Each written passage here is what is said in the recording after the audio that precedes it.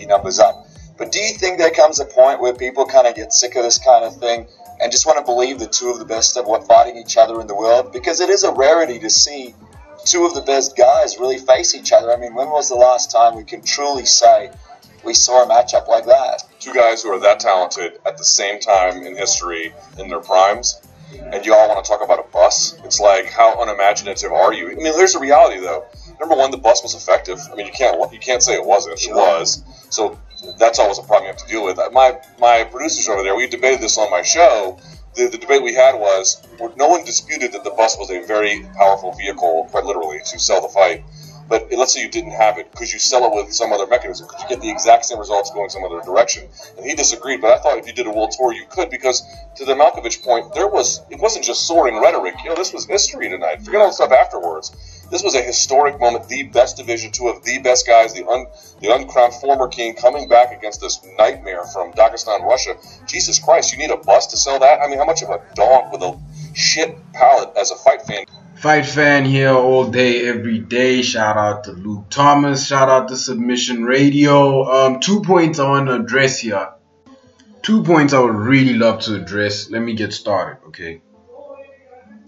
If Conor did all of that, and mind you, Conor has done things that really garner that kind of attention. He has done things that are quote unquote semi gangster look, he's done these kinds of things for a long time, and he's done them under the Geiger of him being the cash cow for the UFC. So there's clear favoritism to this happening, right?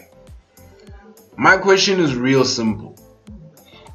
Why isn't Dana saying or doing much about this? I know that the, the Nevada Nevada State Commission, State Athletic Commission, whatever they call them, I know they handling this case.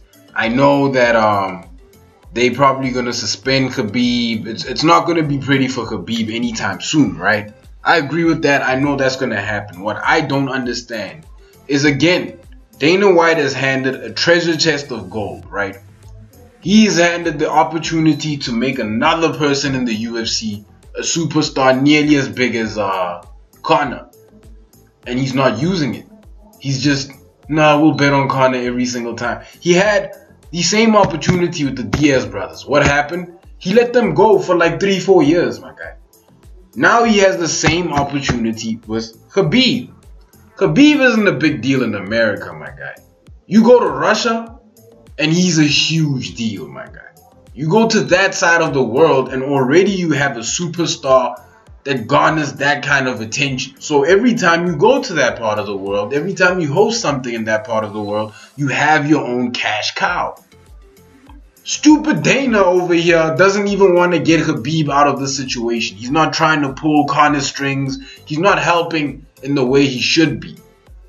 I'm not I'm not saying he should help simply because Khabib is the best simply. I am looking at this from a financial aspect, okay? This could this could literally make another superstar out of a UFC fighter. Aren't you sick of seeing Conor? Aren't you sick of seeing that guy as a rep for the greatest that MMA can do for anybody? What I mean by greatest is the superstar status he has created, the money he has made, right? Just those two things.